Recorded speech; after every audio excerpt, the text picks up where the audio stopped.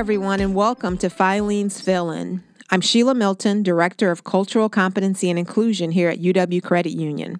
The Filene Fill In is the podcast where Filene fills in their listeners on what's going on within Filene and around the financial services world. On January 13, 2020, Filene officially launched its new Center of Excellence for Diversity, Equity, and Inclusion, led by Dr. Quinetta Roberson of Villanova University. UW Credit Union is a supporter of the center. This is a five year research project to explore DEI opportunities and challenges for credit unions to better serve their members and attract, retain, and develop top talent. DEI research is not new to credit unions, nor is it new to Filene. Past Filene work that is related to this effort includes research on women in leadership, financial services for low income populations or people of color, and how financial institutions can serve the LGBT community. We also know that there are many others in the credit union system making important contributions in these areas. Nonetheless, there still remains much work to be done. The work of this center will build upon this foundation to conduct applied research to help the industry understand how to leverage diversity, equity, and inclusion to create business value and drive performance. And UW Credit Union couldn't be more excited to let you get to know a bit more about Filene's new research fellow who will be leading this work. Dr. Quinetta Roberson is the Fred J. Springer Endowed Chair in Business Leadership and Professor of Management at Villanova University. Filene's Taylor Nelms and Holly Faring got some time with her to talk about why this research is so important and how she came to find her passion for being a researcher and teacher. I already knew that the work we were embarking on through this research would be a game changer for us and for the credit union industry. But it really fills my heart with a feeling of purpose after getting a chance to talk with her a little bit. I'm very excited to see what we can do together, and I hope that you'll walk away feeling inspired and wanting to move this work forward. Okay. I just first want to start off by thanking you so much, Quinetta, for agreeing to introduce yourself to our credit union audience by being interviewed on our podcast today. And I wanted to welcome you to the Filene Fellow family. As you know, you are our newest Filene Fellow for our Center for Diversity, Equity, and Inclusion.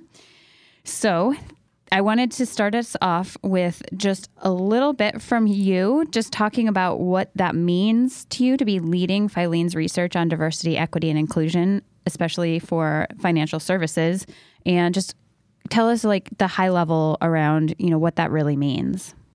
Yeah, I, I mean, you mentioned three things that I'm the newest Filene fellow for the Center of Excellence for Diversity, Equity, and Inclusion. And I think in that highlights the reasons why I'm so excited. One, I think that my background in diversity, equity, inclusion, it is a passion of mine. I've done research in the space, teaching in the space, consulting in this space. I'm the one continuously over the last 20 years pushing that boulder up the hill, one of the people that's doing that. And so being able to continue that work is exciting. Of course, working with Filene is exciting given all of the work that Filene does in the credit union space, all of the really thought provoking and groundbreaking research that Filene does. And so to partner with Filene is exciting. But then, of course, being the newest, um, there's some cachet associated with that. So I, I'm excited to kind of trailblaze in that way as well. Excellent. Well, welcome. Taylor, how did we come across Dr. Roberson for this role?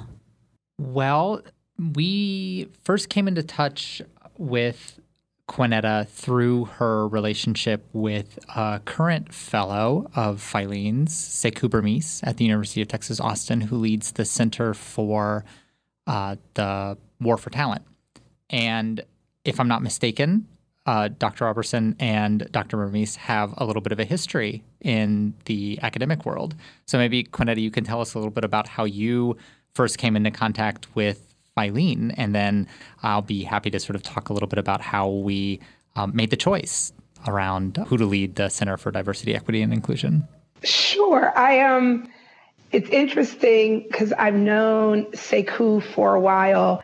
And I actually remember when it was announced that he was going to be a Filene fellow. I remember seeing it on Twitter. And I was like, oh, what's that about? And um, we talked about it, and I was asking him, what does he have to do, et cetera. And I said, I want in on it. And he's like, Are you serious? And I said, Yeah. And he um, he saw an opportunity later when there was a colloquium, the America's Got Talent colloquium at the University of Texas at Austin. And I um, attended or I was invited to give a talk. And that is probably how that relationship with Filene began. And when I came on board um, at Filene and started the process of planning the new Centers of Excellence, the transition to new Centers of Excellence, we started to explore the academic space around diversity, equity, and inclusion research. We reached out to Sekou, and he recommended that we take a look at Quinetta's portfolio.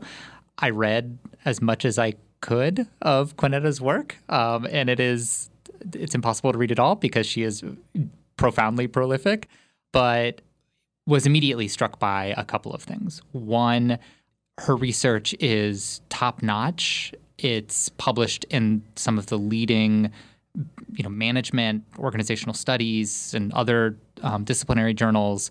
It's profoundly relevant to um, industry, and um, it's translatable. Some of the insights from uh, Quinetta's research are immediately actionable for organizations and and um, across disciplines, across industries, but especially financial services, in part because uh, Quinetta herself has a background in financial services. And so, you know, when we were reviewing candidates, uh, potential candidates to lead the Center for Diversity, Equity, and Inclusion, it was very quickly clear that Quinetta had everything that we thought it was going to take to be a leader for credit unions and to lead the research agenda for Filene. Well, we're certainly glad that all of that worked out to lead you and us to where we are now. I know that there's a lot of excitement around this topic and also a lot of hype around this topic.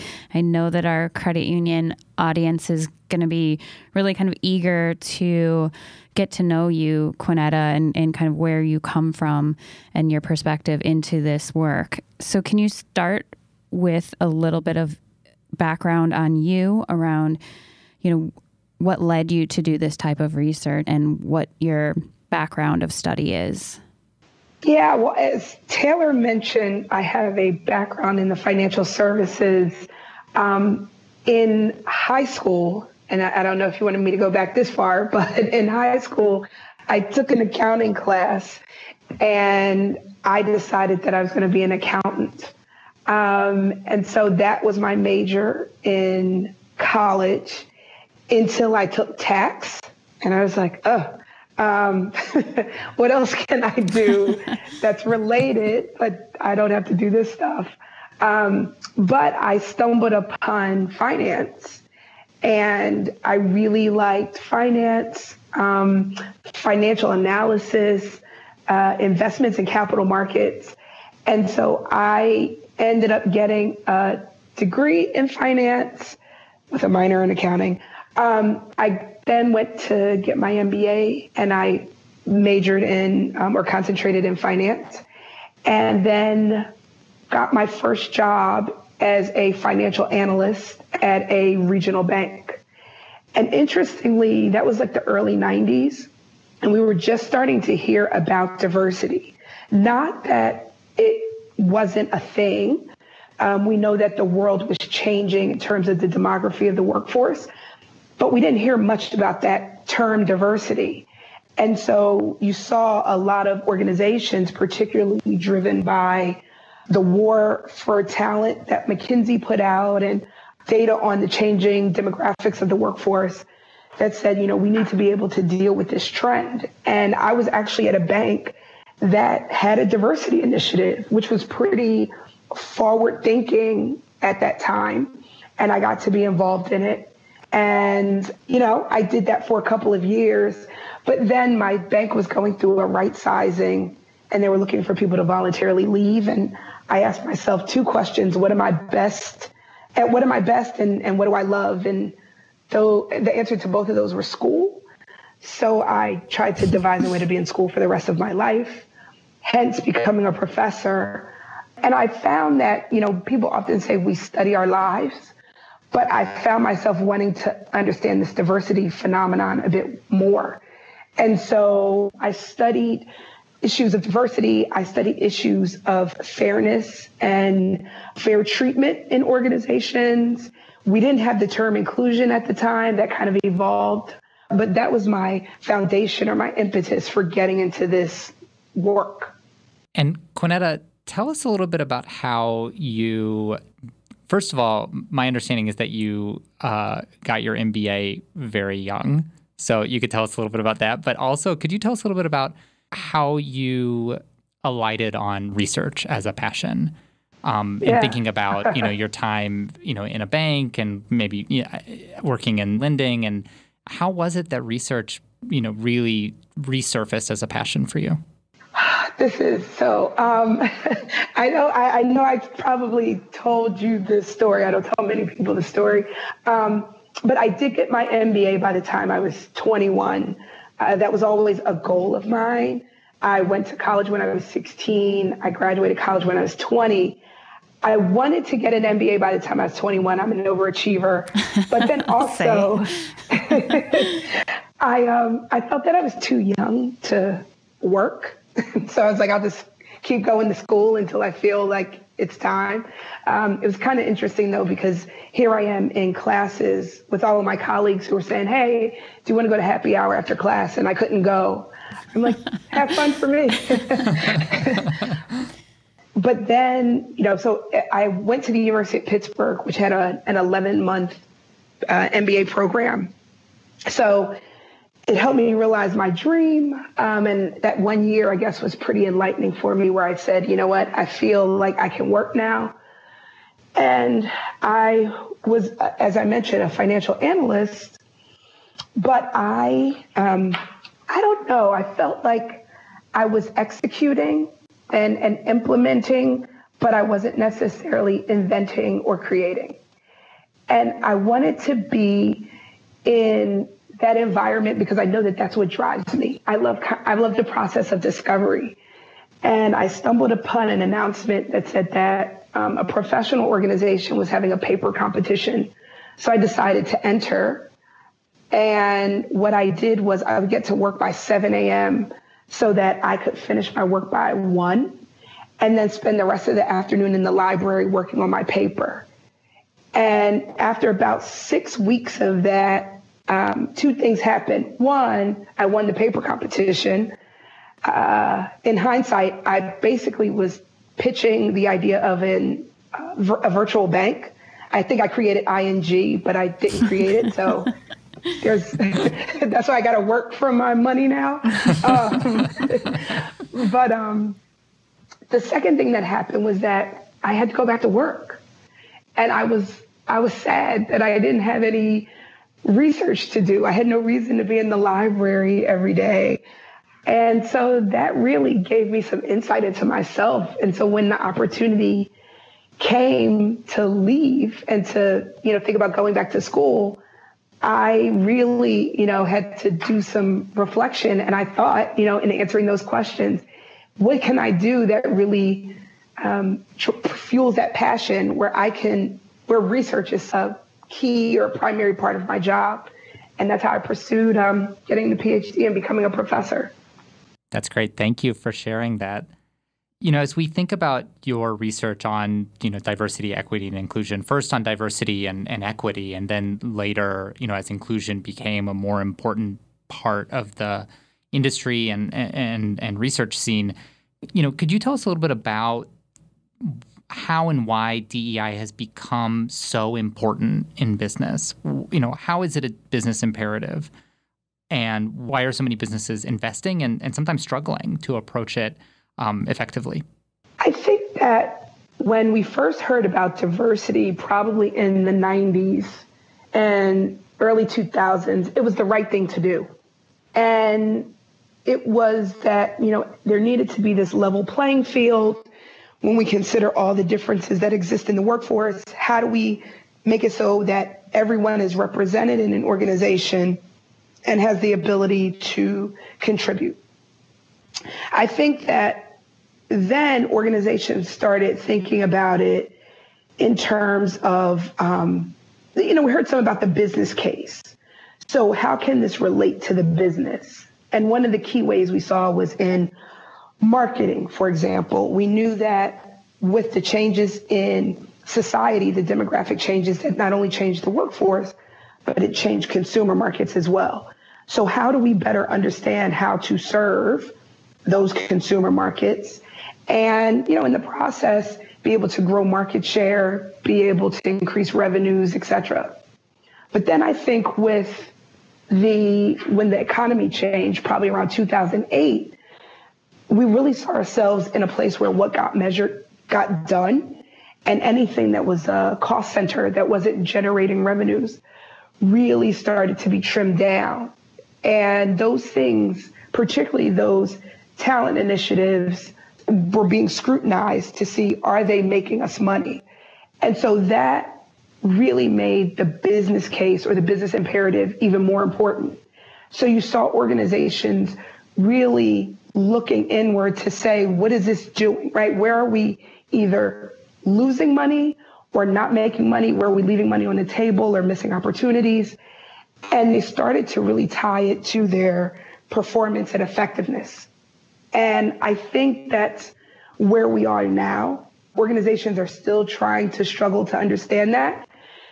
And part of it is, you know, having a strategic perspective. A lot of times organizations don't think about DE and I as a part of a business, but something that's more standalone, something that's, you know, under the umbrella of talent, but it's a practice. It's very practice driven.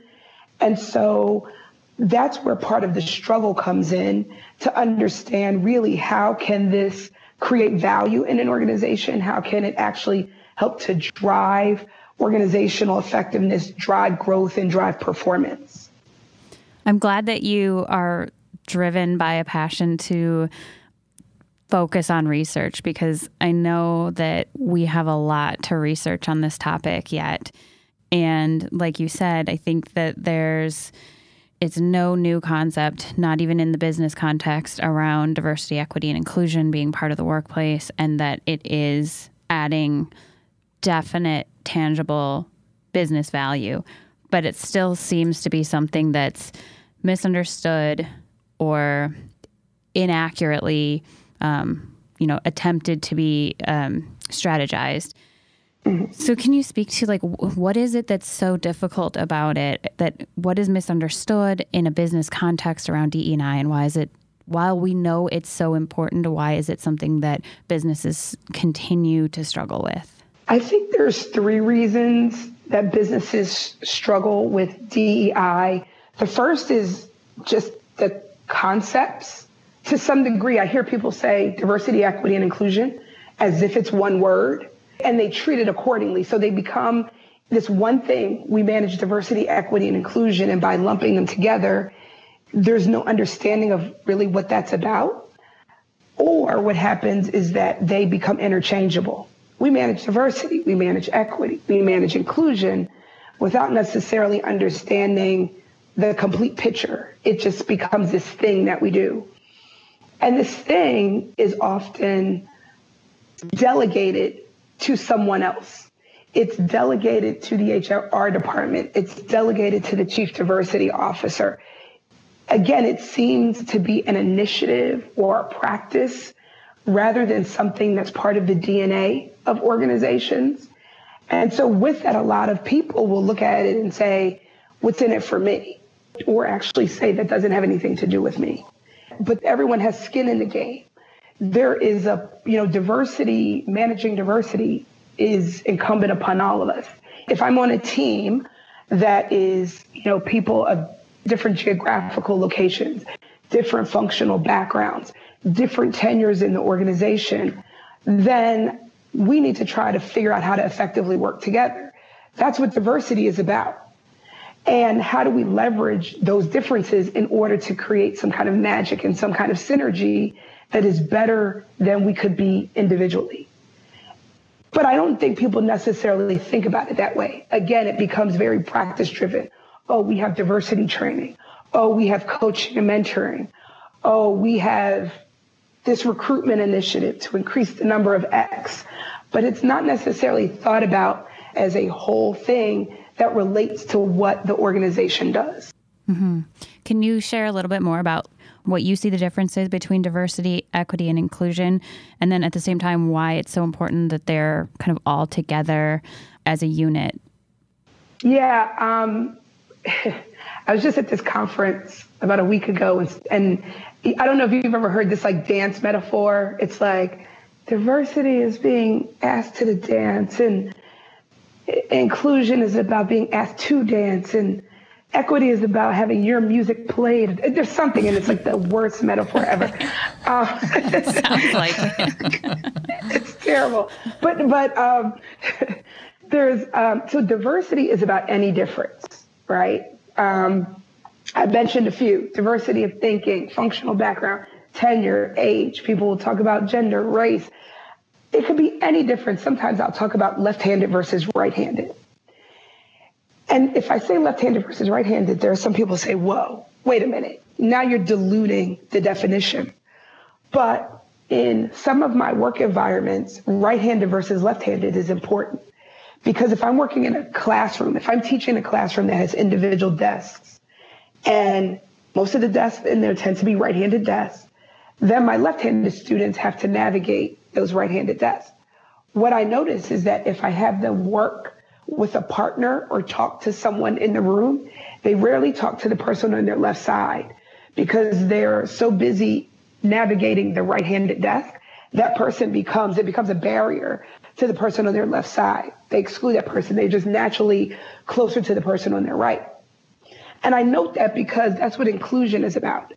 Inclusion is about the opportunity for everyone to be fully contributing members and meaningfully contributing members of an organization. But we need to have equitable systems and practices and tools in order for people to be able to do that. So, you know, I've seen leaders say, well, I'm inclusive. And when I ask them what they do, there's nothing really actionable in it. And sometimes they need those, you know, we need to look to make sure that it's not just what the way leaders are interacting with their direct reports, but thinking about are the practices, are any of our employees falling by the wayside or being marginalized or unable to contribute just by the nature of the way we go about doing business or our talent management practices. So DEI are all related, but you kind of need them to tell a complete story. You have the differences, but you have to make sure that the systems don't throw, you know, anybody out of the opportunity system or prevent them from having access. And inclusion is, you know, making sure that there's an environment where they feel respected and valued and welcome and really are motivated and engaged to be able to make those contributions. Yeah, it sounds like there are there are clear links between these three concepts and the way that they manifest in reality. And you know, for example, it's clear that it, in any group of people in any organization, you're going to have lots of different kinds of differences. Mm-hmm. But it's the systems of inclusion and equity that are going to structure which ones produce exclusion, which ones come to matter as differences, and which are um, simply a part of people's relationships um, that go kind of unmarked, right? So, you yeah. know, can you tell us a little bit about how and why diversity has to come alongside kind of inclusion and equity in order to have an impact for both organizations and for individuals? You know, it's interesting from a research standpoint. I study equity first. So before I was really studying diversity, because you didn't see a lot of it in the research literature, I was studying issues of equity. So who gets treated fairly versus who gets treated unfairly? Or, you know, how, what are the different types of relationships managers will have with members of their team? And that's pure, you know, again, fairness, that's equity. But people assume that diversity is then this separate kind of thing. But when we, you know, I'll hear organizations say, we need more diversity. And what they may be saying is, you know, we don't have a representation of women in our workforce that represents our customer base or that represents um, where we operate in terms of geographic location. But there's diversity in every organization. And it's figuring out how it influences the work that gets done. Um, and then the equity is do all of those people, regardless of characteristics or background, have the same opportunities and the same access to information and those opportunities?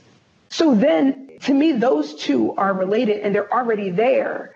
So the secret sauce becomes inclusion, right? That's the systemic thing. That's the word that you just said, Taylor, that like kind of brings it all together and makes sure that everything is running the way it should so that every single person can be his or her best at work or in whatever the environment is. And so I say that, you know, reflecting on really research does not link these three, these three things together.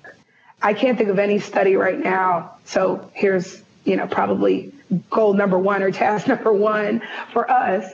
Um, but there's nothing to show that diversity, equity, and inclusion reinforce each other. But when we look at the way organizations operate, they are, you know, they do reinforce each other. And so it's kind of showing it's it's linking that research and practice and be able to show why this is, you know, the trifecta in order for people to really be effective and for organizations to be effective overall.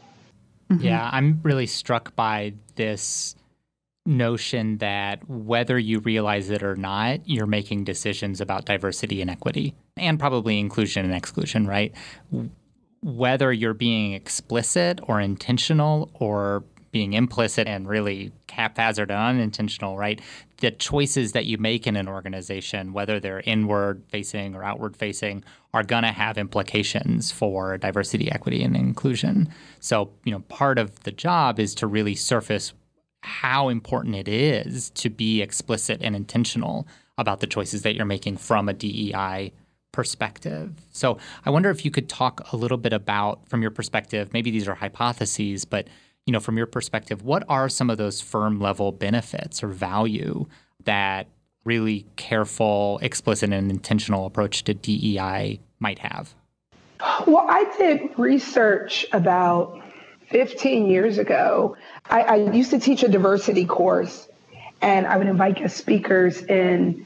And usually, sometime within the first five uh, PowerPoint slides, they would tell me how many X they had in leadership or on their board. So we've got this many women, we have this many, you know, racial minorities, and or they would tell me how many diversity awards they won.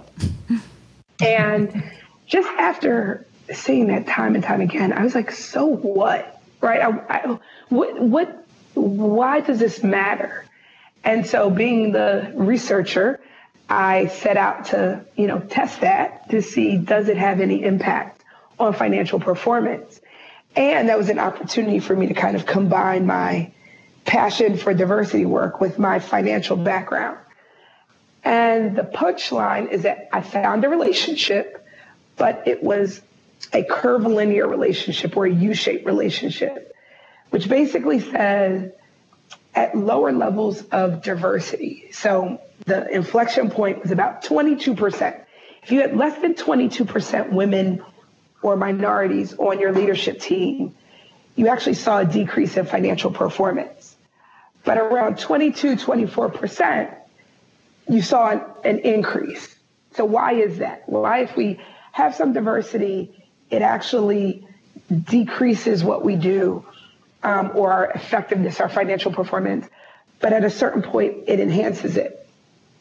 And what we speculate is that it's this issue of critical mass and also using diversity. And so, you know, there are some organizations that will say, hey, we have a female COO. We have a, you know, um, uh, Asian American woman who leads our um, marketing department. And I'm like, okay, and what?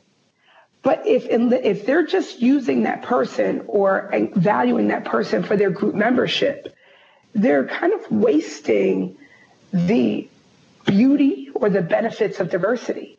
They're not taking into consideration that person's unique skill set or background or knowledge or network. All of these things that diversity brings. And so my research shows that there is a relationship to financial performance in terms of um, top line growth, revenues, in terms of bottom line growth, net income. You know, it actually has some efficiency outcomes. It improves uh, organizations' financial returns, return on assets, return on investment. But it doesn't talk about how that happens.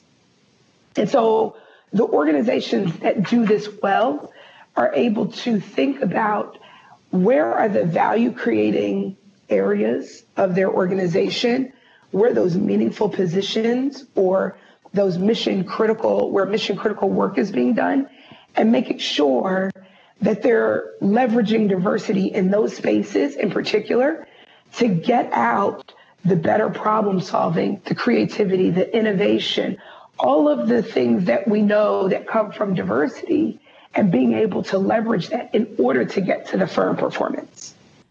As I'm listening to you talk about this, I, I feel like there's kind of this this underlying foundation under the concepts of DE and I around power dynamics and essentially who makes decisions. Do you feel like that has anything to do with when it's in a workplace context that naturally has hierarchical structures and there are people that make decisions on behalf of other people and there are leaders? Does that complicate the ability to um, really fulfill the ideas of DE and I? It definitely, I think power and status can be dimensions of diversity themselves. Um, we can see different industries that are really diverse in terms of demographics. But if you took a slice of those organizations, the diversity is concentrated either in certain areas of the business or at the lower levels. So without that diversity being kind of infused throughout the organization, again, it's we're not realizing the full benefits. Mm-hmm. The other thing to your point, Holly, I think is really interesting is that this issue of like hierarchy or level in the organization or where people even are in, ter- in terms of areas of the business can often drive their experience. You know, what do they have access to? Who do they have access to? What conversations are they a part of?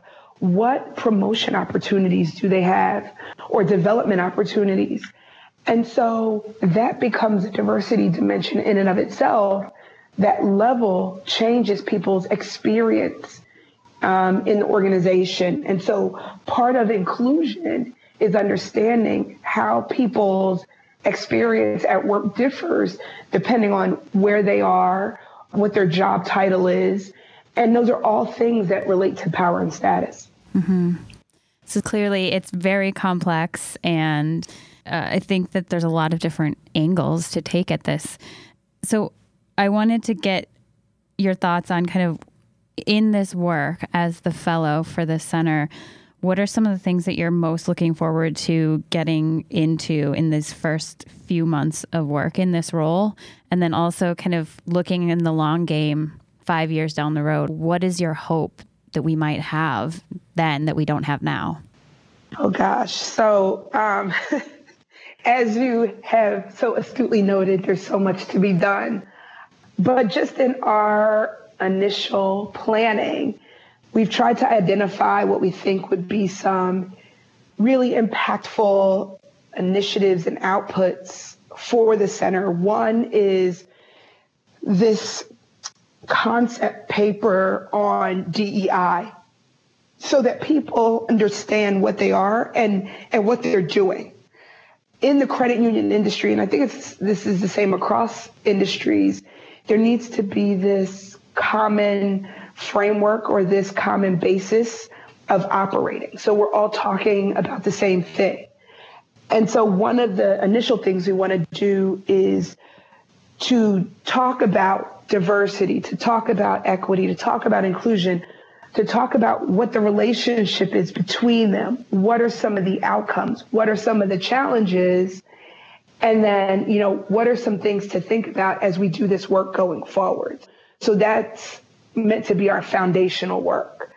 But then, like as I mentioned, I've done work to understand what's the value for DEI in organizations in terms of how does it drive performance. And I have my research shows that there are certain, you know, value creating areas. For example, we know that diversity brings about greater innovation and creativity. And so maybe having diversity in an R&D space is important. Or if you are a very service driven industry, making sure that there is diversity, equity, inclusion in those places that have direct or frequent touch with consumers. Even though I have an idea of what that looks like across organizations in general, I think what excites me about this fellowship and being able to work with Filene is the unique business model and the fact that we're talking about this environment, this cooperative financial environment that's owned and operated by members, which is very unique. And so, what do DE and I look like among different stakeholders? So, not only among employees, but among members. Thinking about what does that do in terms of providing member service, current members, their member experience, but also attracting new members. So I think that there's some unique features of credit unions and unique value creating areas. And so we want to come up with this value based framework for understanding how DEI can drive performance and success in credit unions. We also talked about um, a benchmarking survey that, you know, there seems to be many credit unions who, you know, everyone's can be on a DEI journey, but they'll be at different stages and they want to know, you know, where they are relative to other credit unions. They want to know, you know, where should they be applying their focus and their resources at that point of their journey. And so we think that it could be important to do some data collection and some benchmarking to get an idea of the current state of DEI in credit unions and give people a way to measure progress. Those are the three major things we talked about. We also talked about it'd be interesting to have some more qualitative data, maybe some case studies on um, credit unions' DEI journeys that people can, you know, understand that you're not alone and here are the successes and here are the challenges and here are the considerations. But really understanding, you know, getting more into Holly, which you mentioned, some of the complexities of DEI? What's the role of the leader? Um, are there other things that need to be in place in order for this to work or for this to be effective? So I think, let's see, I named like four things. I think that should take me to 2024. Quinetta, when you think about the sort of broader network or broader range of research that's going on in this space, what really gets you excited? What are the really cutting edge questions that people are asking about diversity, equity, and inclusion? I think that we have become stuck in this best practice space and people want to know what are the best practices. There are, you know, there are awards for best practices. There are, you know, things written about lists of best practices. But I think even though we read and we hear about those things, where organizations struggle is that when one organization says it's a best practice, really what that means is it's best for them. And so why does it work? Right. And what makes it work or what are the things that they experience that always work? Were there times that it didn't work? How has it evolved? And so I think that some organizations are still trying to understand what do we do? And the challenge is that it's not a one size fits all. I can't just say, you know what, go get diversity training and that'll fix everything because it, it can't. And diversity training differs. Or, you know, recruiting initiatives, building a pipeline, where you go and, and who you need, those things all differ. And so I think I get a lot of questions about the how. Like, how do we go about doing this?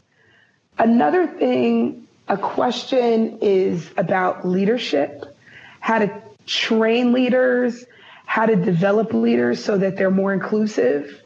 Because as many practices as we might put in place, those practices have to be enacted. And so we need people who are good leaders, that this is just part of what they do. And no matter who is on their team, that they can deal with those differences. They can treat people fairly and they can create an environment where everyone can succeed. So that becomes uh, another question. And then, um, you know, people just love seeing the outcomes, the financial data. If you can show, you know, that we were able to you know, this related to some kind of key performance indicator. We were able to increase our revenues or we were able to grow by this much. People love that kind of stuff. And so they'll usually ask me, give me a company, give me a name of an organization who does it well. And everybody doesn't do everything well, but I can give them examples of outcomes and those considerations and things they need to think about. So, so you know, one of the things I'm excited about right now is being able to really make evidence based solutions to this or to really give people guidance that they can use tomorrow. And I think that's really overall what organizations are craving. We're beyond the con- conceptual, we're beyond the theoretical, but how do I do this? And how do I get the most return the biggest and fastest return on my investment um, to be able to show that it actually is is meaningful. Um, but then also, you know, organizations have ways that they determine their effectiveness. People are evaluated on a quarter and an annual basis. So how do I become more effective overall as well? And so I think people understanding what's in it for them and how to actually do it is really what the, the burning platform is. Yeah, and it seems like the you know to drive at and sort of identify some of those evidence-based solutions really requires digging into the how, as you said, right? Mm-hmm. Like how is it that diversity, you know, what are the conditions necessary such that diversity can produce value for individuals and for the organization, right? How is it that diversity, equity, and inclusion interlock to, you know, produce that magic, as you said earlier? So, you know, I think for me too, that's a really exciting area for us to dig into is that, you know, like what is it about these things that makes them work? Both in terms of improving individuals' well being and in terms of improving firm performance. Yeah. This topic feels like in particular, too, maybe even more so than some of our other research topics, that it's very conducive to in person conversations. So I'm very excited about the events that that we're going to have and bring people together to talk about this because I think that's when a lot of things actually get activated and people actually get it when you just are together talking about this. And um, there's just something about it that d- doesn't get translated quite as well through written word. And so I'm very excited about that. Our first event for this center is going to be in September in Philadelphia. Yeah, Quinetta, can you maybe talk a little bit about you know the theme for that event and you know what people might expect from being able to come together and talk in person around this topic?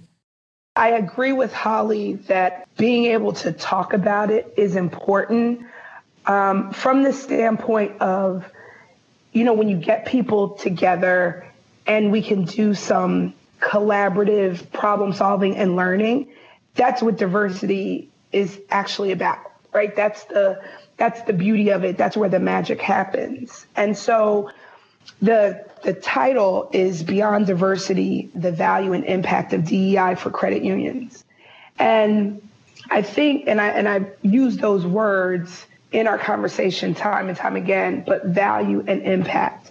I think that a lot of times when people hear diversity and or inclusion, it conjures up pictures of like, you know, a circle where people like holding hands and singing kumbaya. There might be some tears or something like that. and and it's not this, you know, business imperative. But when I talk about DEI, and this probably I'm a product of my, you know, background, my my work experience, but I actually start with the end story, right? At the end of a quarter, at the end of a year, how do you know that you've been successful or how do you know that you've been effective? Part of that is people understanding their metrics, understanding their strategy, just understanding their business. Then we can start to back into the DEI story, right? So how do people relate to those metrics and that strategy and how work gets done? And then what are the ways that diversity, equity, and inclusion that you see now either drives that or hinders that?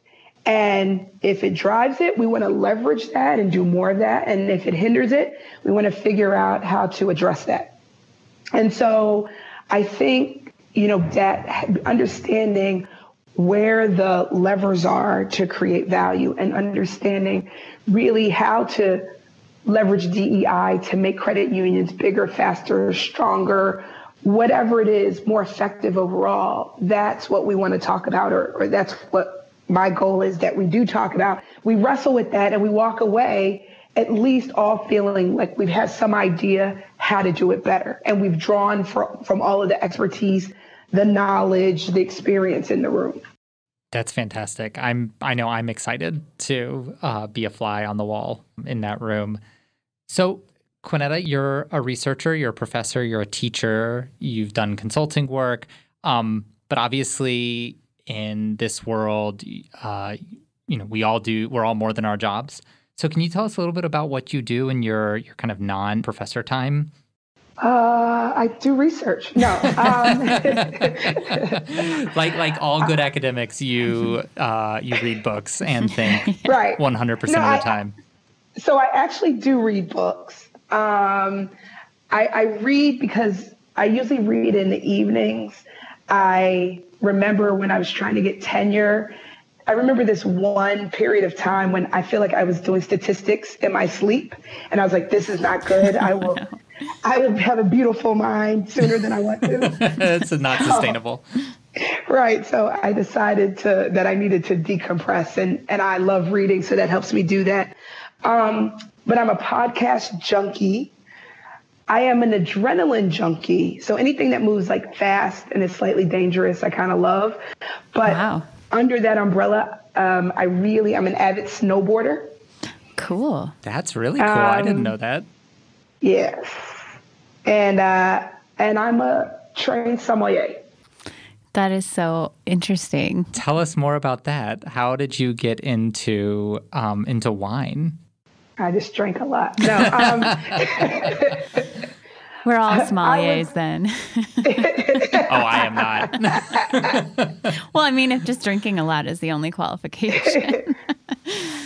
so, you know, I was a professor at Cornell, which is located in upstate New York in the Finger Lakes region, which um, at the time was the second most wine producing state. New York was the second most wine producing state after California. I think it's Oregon now in the New York.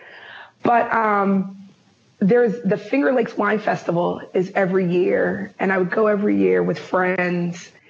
And probably after about five years, this woman at a vineyard said, "Well, you obviously know wine and love wine. Do you want to pour wine?" And I was like, uh, "I don't need an- another job." and she said, "Oh, because you get paid in wine." And I was like, "Oh."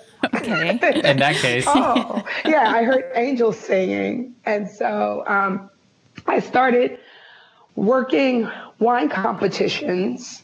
Um, I was actually the my role was the person who ran the scoring sheets after the judges had scored the wines, and I got to talk to them about like what was it about wine, the wine that they thought were award winners, etc. Um, and so I just got to learn a little bit. But then when I moved to back to Philadelphia, I thought my wine career was over, but there was a wine school in the city, and I took two classes that required me to do like blind tastings and take exams. And the instructor said, you know, if you take like six more classes, you can get a degree. And the overachiever of me said, oh, okay. I need a bachelor's in wine. Sounded so, like a challenge. yeah. yes. So uh, I did that. And in 14, I got a baccalaureate de vin. My French is awful, but that's what it was. Um, but I can't really carry my wine degree around, and people always want to ask questions. Well, is it accredited? And when it, you know, whatever. And so um, I took level one of the Guild of Master Sommeliers exam. If you've ever seen the documentary Somm, mm-hmm. they're studying for their level four. I took and passed level one, and you get a pin when you pass. And so th- I've been in different places and different countries with the pin on, and people have recognized it. So um, gives me a little cachet. Yeah, yeah, um, just a, quite a bit of cred seems to yeah. me. Yeah. Um, level two has a service component, which I was studying for because I'm not in the industry. Um, and so I need to make that part of my muscle memory because mm-hmm. you have to like, how do you, you, have to open champagne without it making a noise? Um, you have to pour it from the dimple at the bottom of the bottle. You have to mm-hmm. fold a serviette. And I don't know how to do that stuff. So I've got to learn.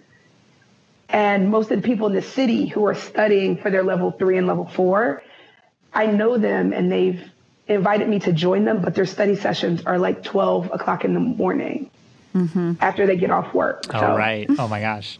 Yeah. That's not conducive to a professor schedule. No, but maybe maybe we can build some opportunities for practice into future Filene events. Definitely practice, and I, I, I also want to figure out a way to. I have a, a wine study in mind, so that's awesome. That sounds awesome. Maybe we need to put a little wine study in the Filene offices.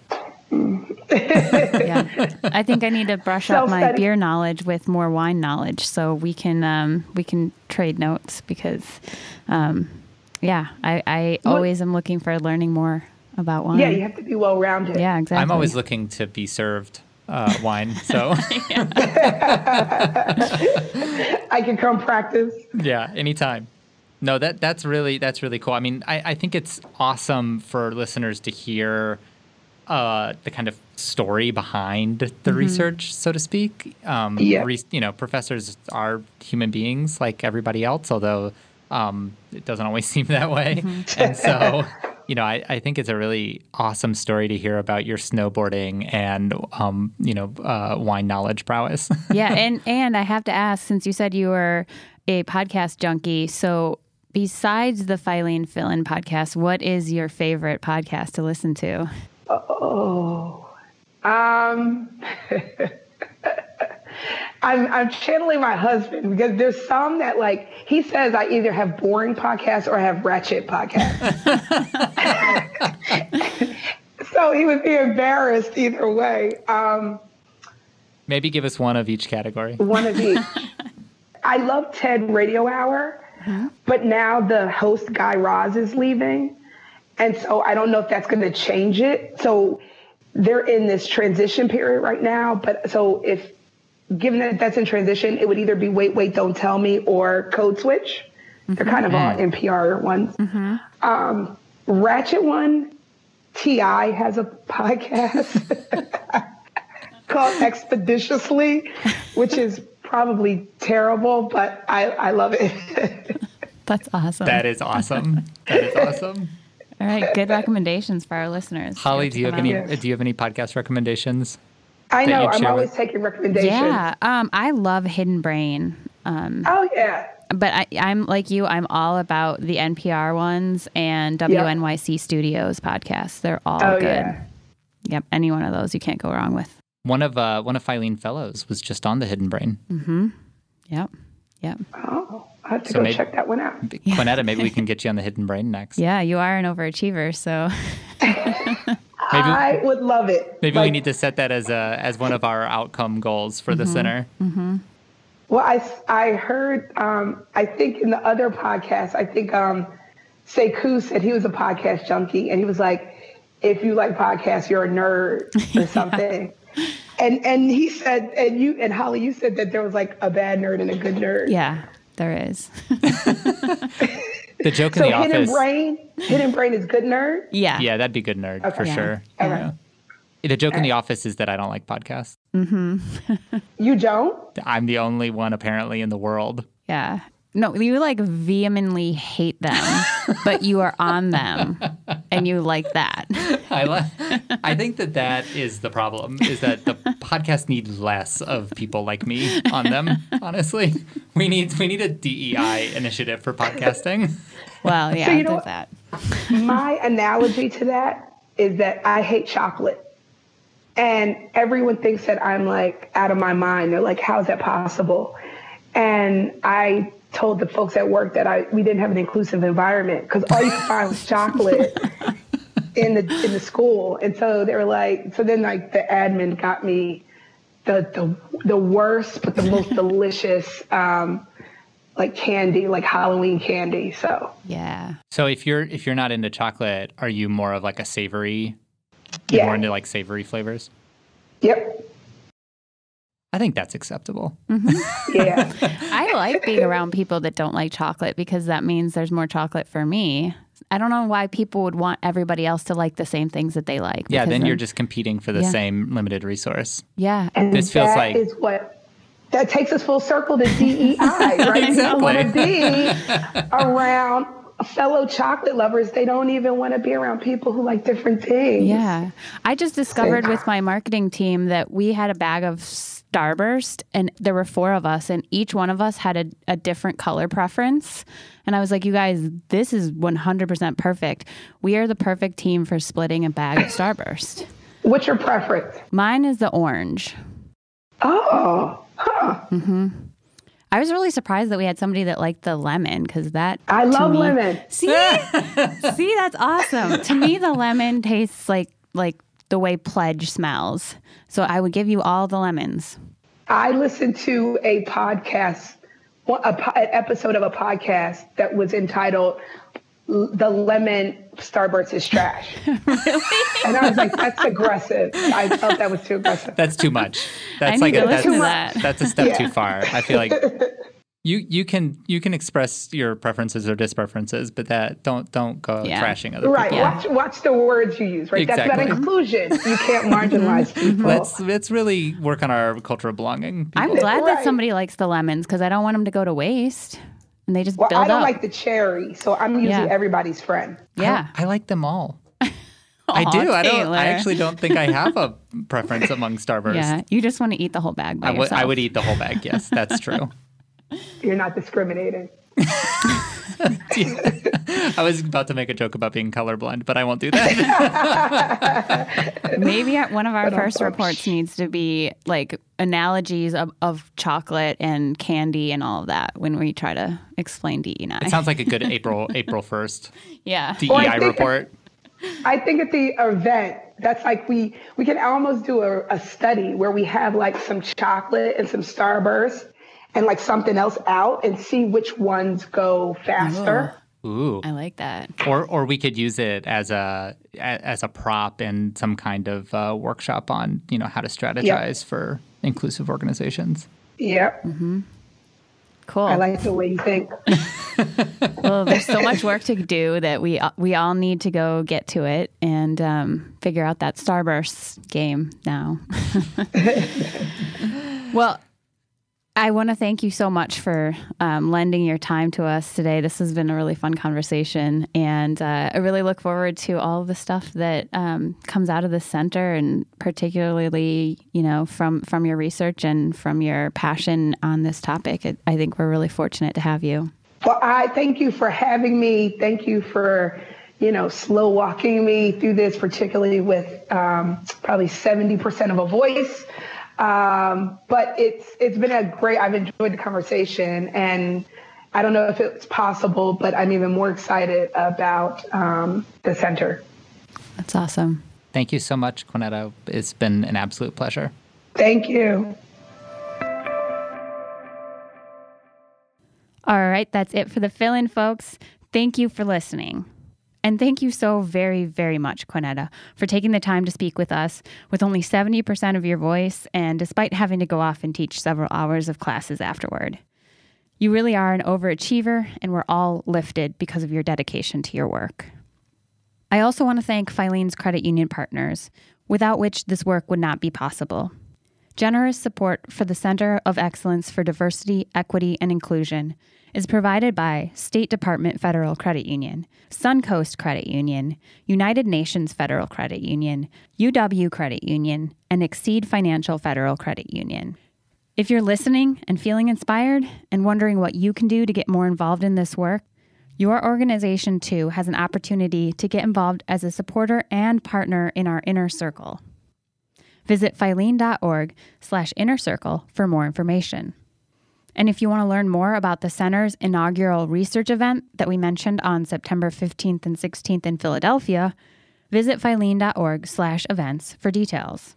Lastly, if you like this episode, please do rate us on Apple Podcasts so more people can find us. And make sure you're subscribed to the Filene Fill-In podcast so you can keep up with what's going on at Filene. You'll find us on Apple Podcasts, Stitcher, SoundCloud, Google Play, or wherever you get your podcasts. To get in touch about today's show, email me at hollyf at filene.org or find us on Twitter at Filene Research. Until next time, thanks everyone.